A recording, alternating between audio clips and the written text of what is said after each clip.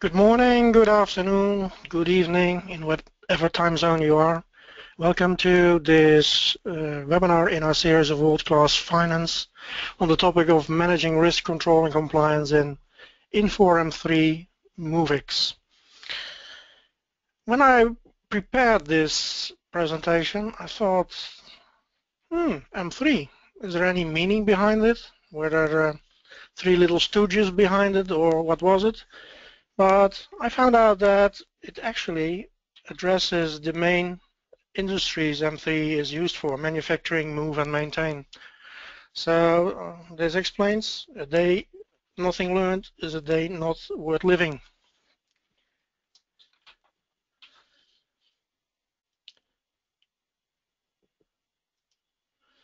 My name is Hans van Nes and I will be the presenter for this webinar today um, with some housekeeping remarks up front.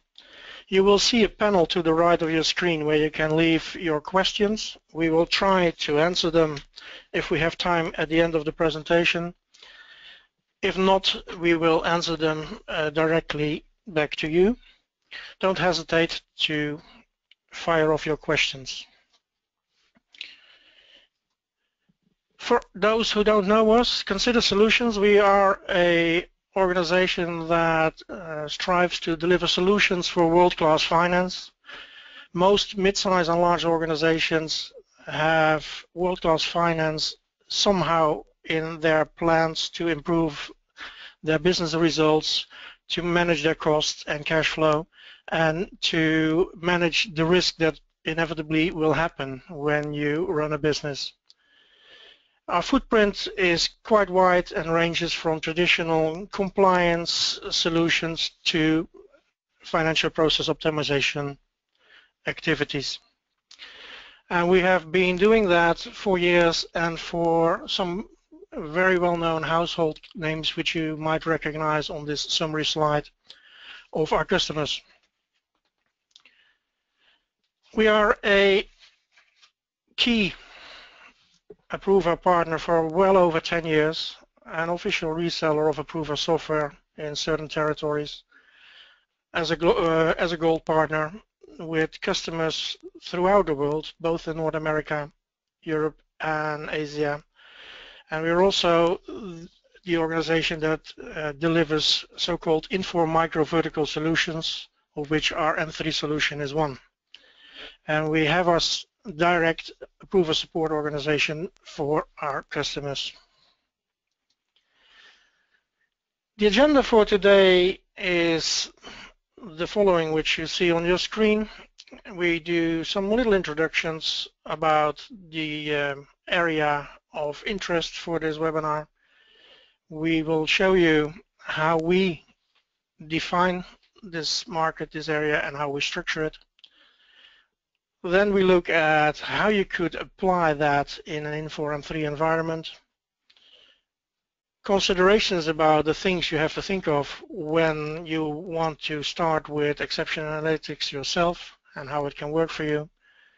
And we will close off with some entry points for a deeper dive and then answering your questions. Why are we talking about topics like this? Well, just read the newspaper or the uh, emails or the the headlines in the uh, in the internet press. If you run a business, if that's a commercial business or or a governmental business, many things can go wrong.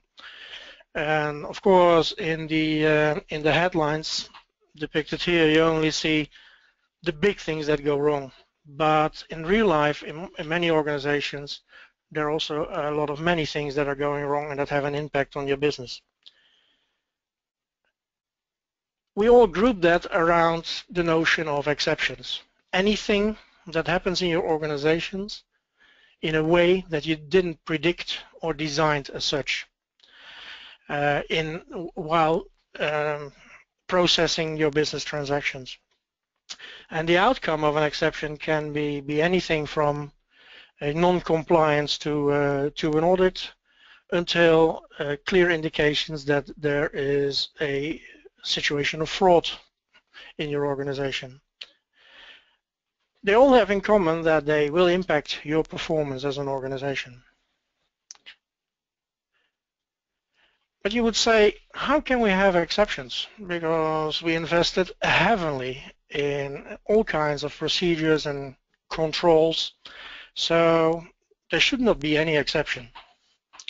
Well, we have procedures, but procedures like depicted in this picture, uh, which can be bypassed very easily, don't give you the guarantee that everything happens as you like. Of course, you could automate your procedures, depicted in the, the famous uh, snow track uh, image we, uh, we, uh, we often use. Here the procedure is automated, there is a barrier, and the barrier is controlled and managed, and there is a log who goes in and out, and if your card isn't, isn't working, you can't get in. So a sense of security. But when, when it snows, you see what actually happens. People don't take the time to find that card or left it in their trousers at home, and they just bypass your automated system. And although the log shows that the barrier works fine at the end of the month, and even you pay maintenance for it, actually your controls are not working. And then there's another thing. Our businesses and underlying systems and structures are so complex that it is virtually impossible to have controls in place for everything. Most of the times uh, there are gaps between controls or controls are, uh, are overlapping in such a way that they contradict each other even. Well, the final solution would be just to turn off the water tap, close all potential wrongdoing in your system only little problem is, can you do still business? Because your people have to have a certain freedom of usage of your applications in order to create revenue for your organization. So giving no access as, a, as the ultimate control is not the solution either. And last but not least, we can invent controls as much as we like. Humans are always smarter than systems, and if they need a way, they will find a way to get out of it. Most organizations striving for world-class finance today have a foundation built based on ideas of centralization and common systems and standardization. And yes, they see financial savings from that and more predictable results and compliance. That's absolutely true. But tomorrow's demands for world-class finance go much further. Uh, elements like transparency, uh, increased customer satisfaction, and the customer being part of your supply chain, uh, business, better business partnering, etc. There is a big demand for a continuous, ongoing improvement in the way we look upon process controls, risks, and uh, process optimization.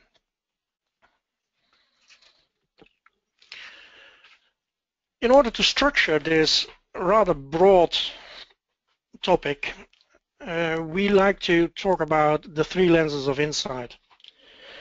Um, we see that there are uh, a number of elements grouped around financial control, let's call it compliance for argument's sake, risk assurance, risk management, and around uh, finance process optimizations you can look upon through a certain lens either driven by external elements like SOX when you are a stock market listed organization or a Sunshine Act when you have to show transparency in, in the way you deal in your eco ecosystem. That's a lens that you can use to look upon exceptions that are happening in your organization. But lenses are not exclusive. It's not so that an exception only will fit within one lens, will be visible within one lens, and will be relevant to one lens. In order to make that situation a bit more clearer, we use a, model that was introduced by initially by Gartner and used by other uh, organizations that show you a way how you can group your controls and your monitoring of them in four layers. At the top of this picture you see the stakeholders that you're dealing with, At the bottom you see all your systems, applications that you're working with, and in the middle you see the process, business processes. Gartner has given a four-layered model to um, to ask yourselves questions about from top to bottom uh, how your systems are, are, are organized and, and configured and are the doors indeed closed to that system unless you have uh, access uh, that you need and, and require. Then the access to the applications itself. Can anyone access a transaction of a certain type? The level above that is the master data that is governing our business processes. Is that master data secure enough? Um, can uh, master vendor records only be changed by people who have authorization for that? And last but not least, the actual transactions that you execute in your organizations to see, okay, somebody has access to that, that was granted, that is, that is all fine, but what did that person do with that access? You could group those four uh, layers into two, uh, two main questions. Can do, which is a bit more preventive, and did do, which is a bit more detective. If we now overlay this with our three uh, lenses of insight, we get the complete picture where we say, let's look for exceptions. We do that with a certain lens in mind, but if the exception has a value for other lenses, resolving or remediating or a combination of those uh, of that uh, uh, exception will serve multiple purposes. So far, uh, a little uh, introduction in, and structuring of the world uh, we live in. Let's now take a more detailed look at how we can address that in M3 MoveX. Apart from, from standard issues you see with every application, uh, being an ERP or, or homegrown application, there are some elements we discovered in the M3 world which are rather specific. Uh, more than with other ERPs, we see often multiple instances within an organization, multiple versions, and, and some quite old, so you're probably quite happy with those old, old versions still. There are no standard provisioning provisions for, for managing risk control and compliance in, in M3 as standard functionality. So everything you have to do, you have to do outside of M3. Uh, to make it more complex, there are two uh, security models available. Most of the time the organization has chosen for one, but we also also have seen combinations, uh, Uh, especially in combination with multiple versions of M3. And last but not least, the customization effort that M3 users have undertaken is, is quite big. We haven't seen any M3 implementation that is completely and exactly the same as the one of the neighbor. It's both adding uh, additional uh, data tables and adding uh, transactions, uh, customized transactions that make every situation, every implementation rather unique. For those who don't know Approva, a very brief introduction.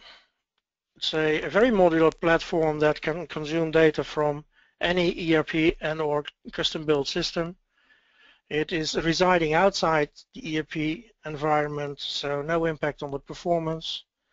It comes with a vast set of out-of-the-box uh, rules to address uh, process uh, controls, risks, and, and process optimization that you can use as a starter kit, but of course you can fully customize it to your own needs. Important is that it, it, it allows you to suppress uh, false, so-called false positives. You can find an awful lot of, um, of uh, exceptions that have good reason because they were triggered by people working for the department, special sales, or whatever reasons. By not excluding and suppressing these, you will bombard your organization with too many exceptions that are not uh, relevant to look at. So less is more in this case. And very important, Approva has an integrated remediation workflow. So when you have found an exception, you're able to either make uh, remediate that exception yourself or hand it over to a colleague uh, or discuss that a structural change has to be uh, be made or a new control has to be added. You all can steer that with this integrated uh, workflow.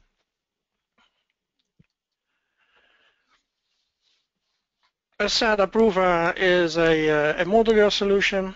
If I go back to our lenses and layer slide, we both look at the can-do situation, so authorizations for people that allow them to access certain transactions, and we look into the did-do situation. Did those people with those authorizations do certain things that we see outside of the wanted situation and we also regard as an exception. And we do that uh, in uh, a wide array of business processes uh, from procurement to pay, order to cash, general ledger, and some specials that I will talk about later.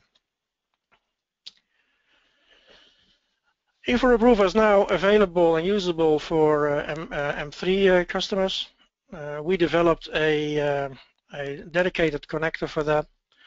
It consumes data from your from your M3 database and maps it to access-related data and process-related data in Approva. The access uh, data is matched against uh, access rules and we have created a set of uh, comprising of 61 best practice rules that we standard uh, use and they contain both segregation of duty elements and sensitive transaction access elements. Of course, if you have custom transactions built, it, those 61 rules can be augmented to cover also these custom ones. At the process side of things, transaction uh, side of things, we uh, perform the analysis against a standard uh, starter kit of, uh, of 15 rules. If you look at the starter uh, kit rules, they cover both P2P, O2C, and general ledger. We will see in a minute uh, the examples of them, but they are typically rules that every auditor loves, you, loves to see, to be monitored, to be analyzed. And of course, you can add as many rules as you like based on existing standard M3 tables and or um, your own customized additional M3 tables. When you connect M3 with uh, you will see results like this. These are some snapshots, uh, some, some overview dashboards and, and, and lists and some details which will show you uh, when you drill down to the lowest level the exact exception that has happened, when, by whom, and which values were involved, field values were involved. Where to start looking for exceptions? Well, apart from the preventive ones for, for access uh, control, on the transaction side, it is typically that you look for elements like this. In the procurement area for duplicate payments, in the in the sales uh, side of things, uh, on price changes, etc. You can see them here. And typically, uh, when organizations build this up, uh, they end up with a continuous monitoring situation covering a, a subset of these. Um, down below to the right, you see some very specific ones. If you are involved with international uh, uh, trade, and especially with uh, with goods that are uh, limited in the sense that you can't deliver them to everybody, and that can be anything from fertilizer to uh, to weaponry, of course. Then uh, looking for any overt limitations in your system and any prohibiting there is very important. So generic areas to look for and specific areas to look for.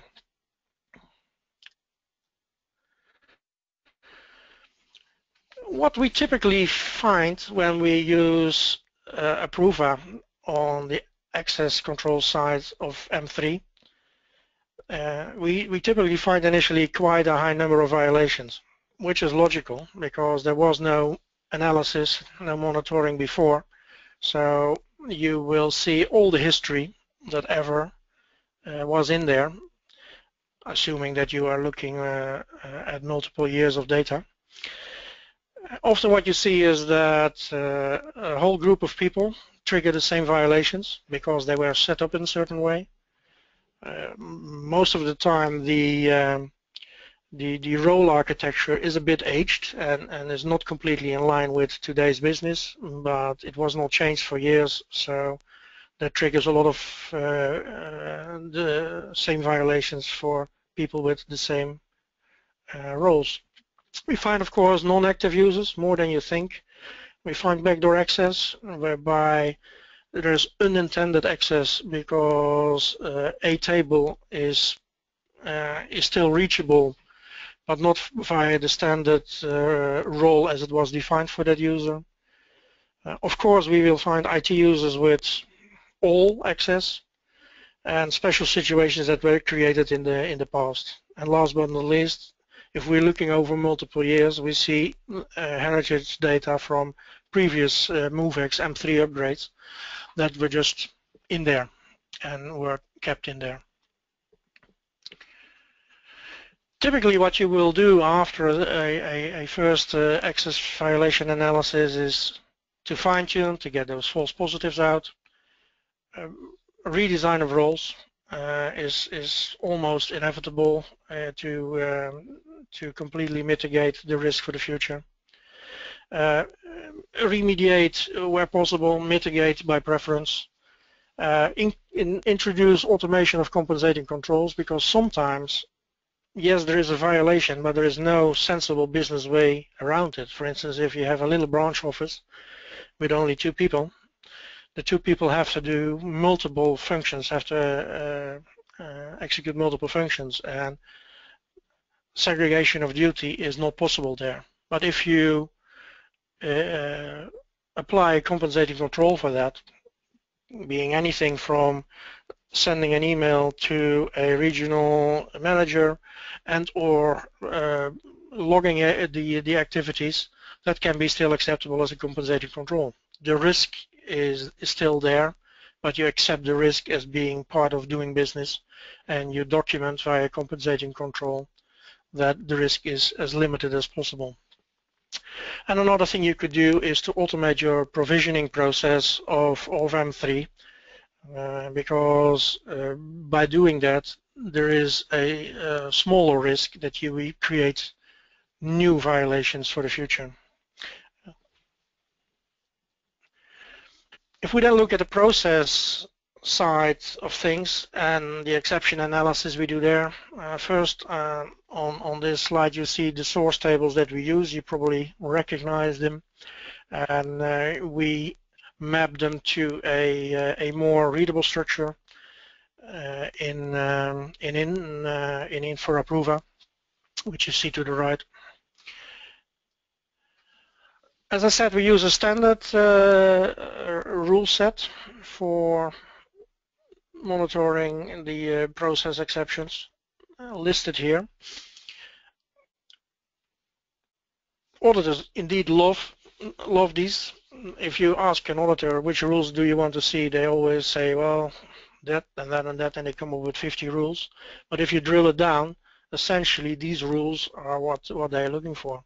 Interestingly enough, it's probably also the rules that you or your, your managers uh, are interested in.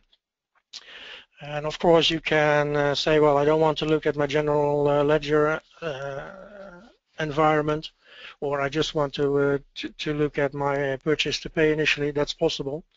But as a, as a good starting point, uh, these rules, using these rules will give, will give the stakeholders um, a good return of information.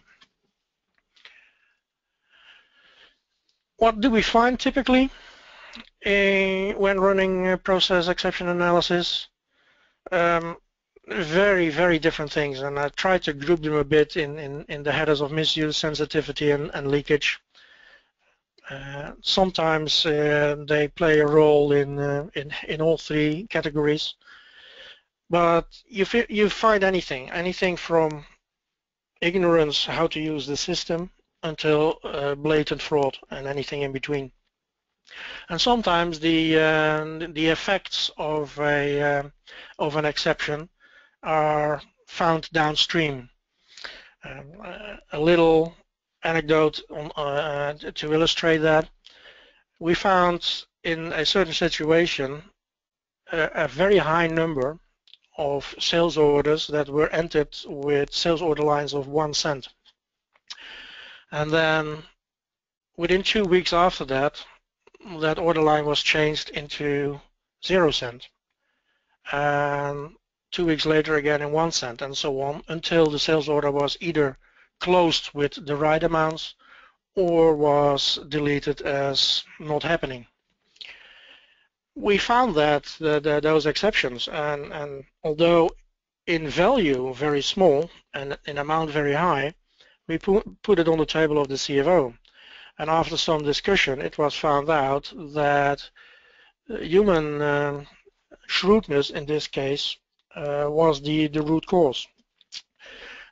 There was a, an ERP in place with nice controls that you couldn't add a sales order line with a zero value for good reasons. But you could add it with one cent. And by giving it one cent, it would not turn up on the, the signal list for the, the sales manager that was run every two weeks. But leaving it on one cent for a longer period didn't help because after two weeks uh, they were uh, earmarked as, as sales orders too long open and they were on another signal list for that uh, sales manager by twisting them back and forward between uh, 1 and, and 0 cent, it was prohibited that they ever surfaced. So if uh, they didn't close, nobody could complain about it. If they did uh, did close, they, they went out with a much higher value because the sales order lines normally had values of, of many euros. So large number, small amount, but big impact downstream. First of all, uh, the uh, CFO based his cash flow forecast on the information in the sales system, yeah, assuming what would come in, a percentage of that, assuming the value in there. So he, he said, no wonder that my cash flow forecast is, is, is never correct. Second, people doing manual uh, mutations of, of, of, of sales order lines without a good business reason are just wasting time. They should be uh, spending time on, on, on real sales orders and not by bypassing the system.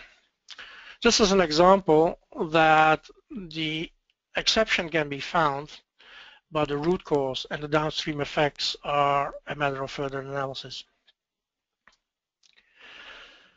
again, some next steps after you've done your, your process uh, uh, exception analysis, fine-tuning, um, maybe deciding that uh, certain exceptions below a certain value are not interesting enough to uh, further look at, for instance, uh, currency differences. You might uh, see indications of potential fraud, and of course you have to, to find out if it is really fraud redesign of processes or fine-tuning processes, again uh, introducing compensating controls, and of course, where possible, uh, recuperate the revenue cash that you lost due to the uh, exception. For instance, when you have paid an invoice twice. Approva for M3 can be delivered as you, as you like. Uh, you, you, can have your own in, uh, implementation on site and run it yourself uh, up to a, uh, a SaaS uh, managed version by us. Um, you can have standard rules, optimized rules. We can completely tune it to the, the size and the needs of your organization. Um, it can work with all M3 and, and, and MoveX uh, versions. It can handle both security models uh, we can uh, include any customized M3 table and or transactions, but it can also be that you have tables outside of M3 and transactions out of uh, M3, for instance, from other systems, uh, homegrown or other ERPs, which we can include.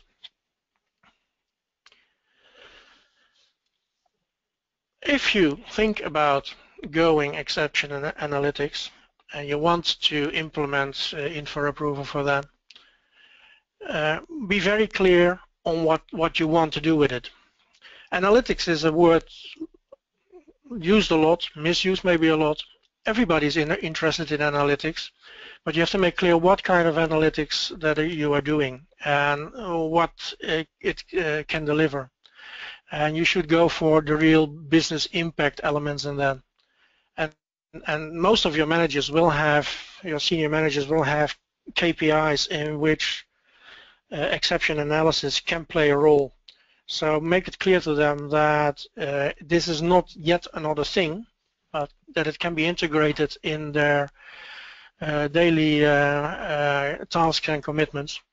And, and, make sure that you um, show them quick wins uh, where you see simple to be repaired leakage in your organization and keep also track of the value that you deliver.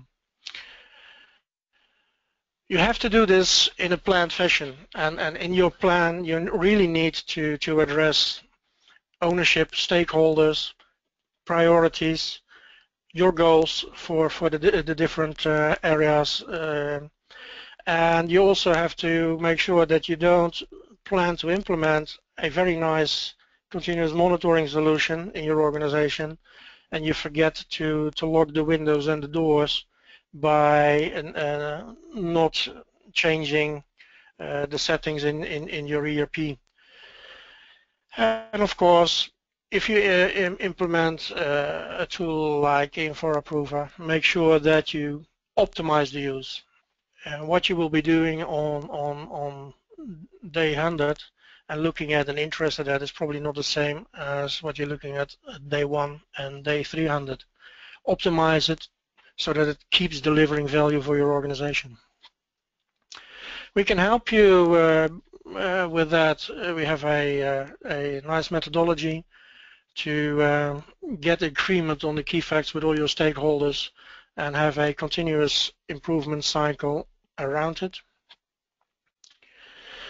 And of course, there are some lessons uh, learned that you, in our opinion, should apply. Uh, start small. Uh, less is more.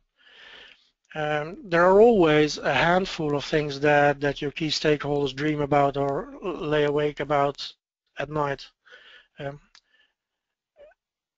but if you find exceptions for them and they can't be ad addressed in the organization, can't be resolved, it's useless to uh, to monitor them because it's only frustrating that you produce uh, a large uh, quantity of information about exceptions and nobody is doing doing anything with it.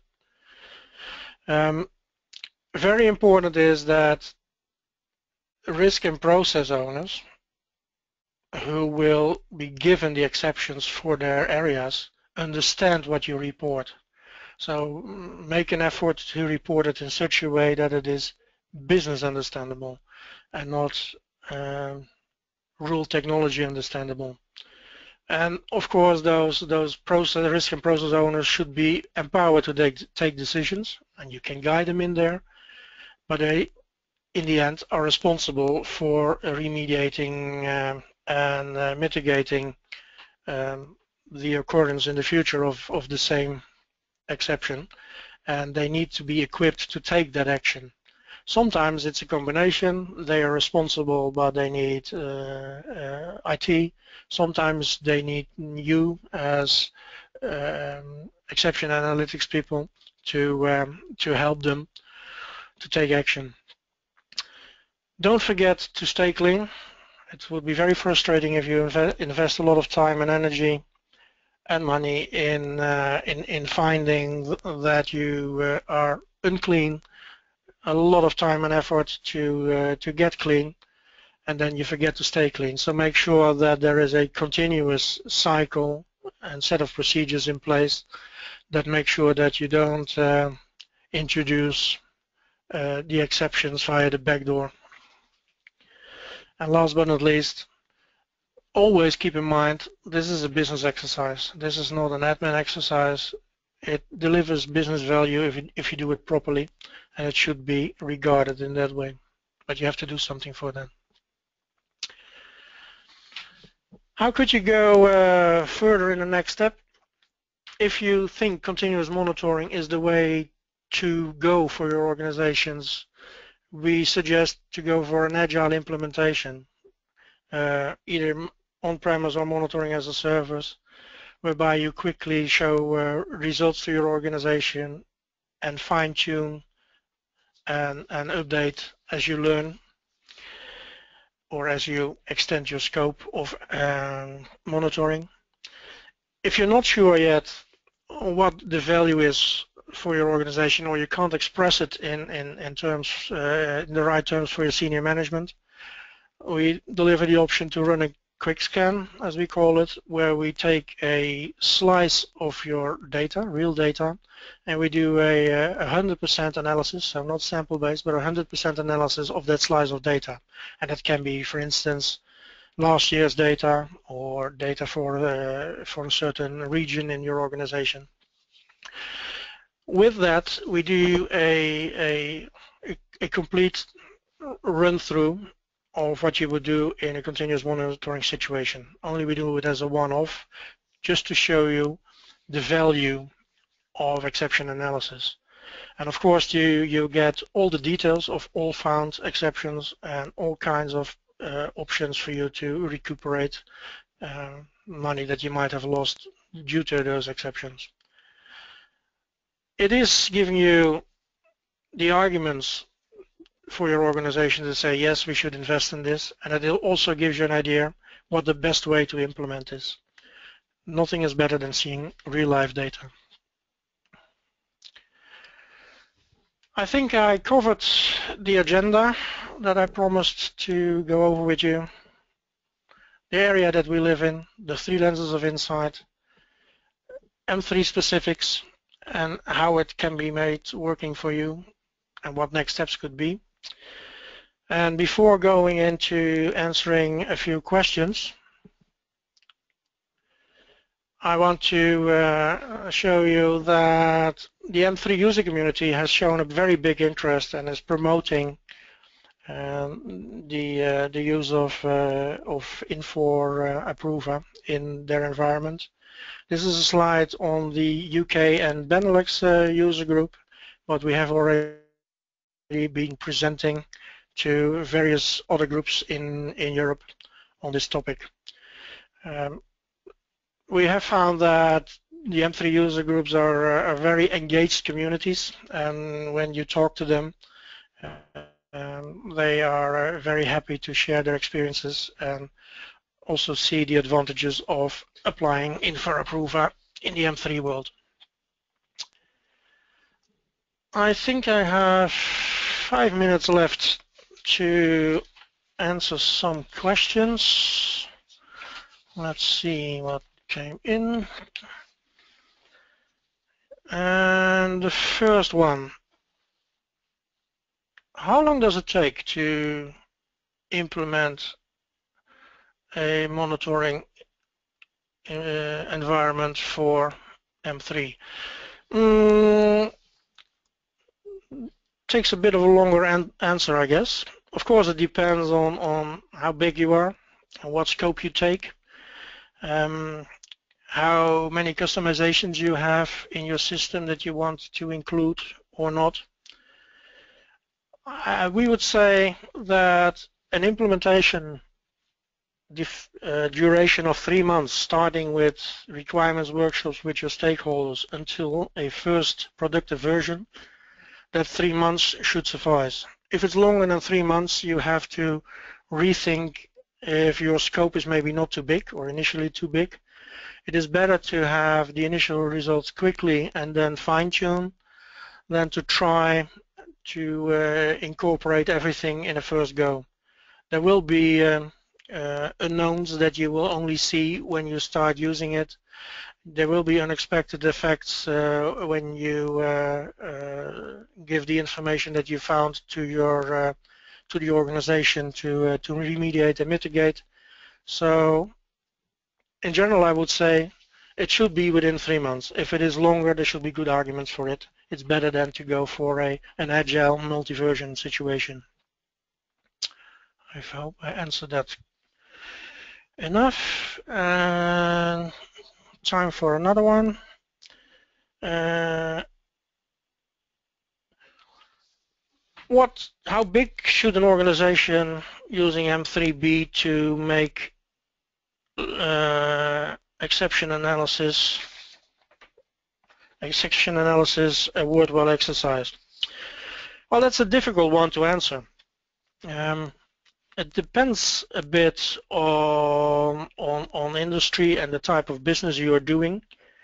Uh, I generally would say it is uh, largely based on the number of transactions that you are executing on a, on a yearly basis. And a transaction defined as any uh, purchase to pay, any order to cash, any, any general ledger transaction that you execute because the bigger the number, the more chances are that there is uh, a lot of value in there that you can find by doing the analysis.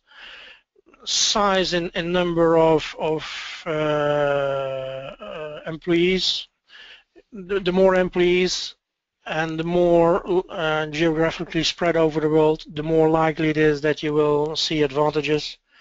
Uh, revenue size, not a hard measure, uh, especially because that can uh, be interpreted very differently in in various uh, industries. Uh, if your uh, your average order order size is a is a million, then probably a, a billion is is in the low end. If your uh, average order size is 100 euros, maybe 500 million could be a good good mark to go for. Uh, in summary, no hard boundaries. It, it's more a question, a discussion of um, what is what is your ambition level with this, what kind of frequencies are you looking at, and also what are you forced to do because external parties like auditors or, or, or government are forcing you to do some stuff. Uh, we are happy to talk to you about uh, uh, if if you're if fit for it, uh, as to say, uh, based on you telling us what you um, want to achieve, then we can say, yep, this will fit or not. And of course, with uh, the choice of on-premise and, and monitoring as a service models, we can serve quite a range of organizations. I reached my 45 minutes. I have one or two questions left, but I will answer them uh, directly to the persons who fire them off. Thank you for attending this webinar. I hope it was useful. Don't hesitate to uh, get in touch with me if you have additional questions or are curious about more details. You will see my email address on the screen. So wherever you are, have a good evening, have a good afternoon, have a brilliant uh, morning, and I hope to talk to you soon. Bye-bye.